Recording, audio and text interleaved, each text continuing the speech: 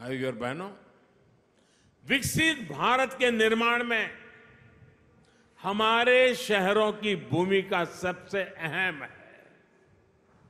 इसमें भी अगर हम महाराष्ट्र की बात करें तो आने वाले 25 वर्षों में राज्य के अनेक शहर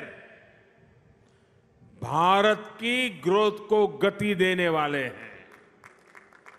इसलिए मुंबई को भविष्य के लिए भी तैयार करना ये डबल इंजन सरकार की प्राथमिकता है।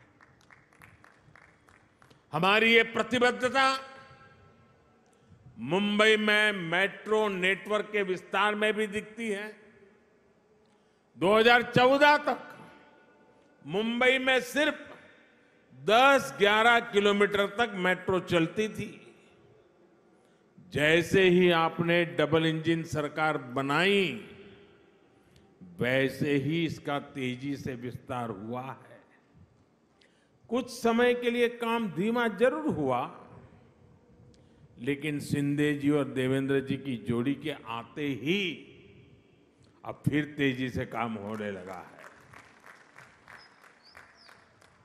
मुंबई में 300 किलोमीटर के नेटवर्क की तरफ़ हम तेज गति से आगे बढ़ रहे हैं।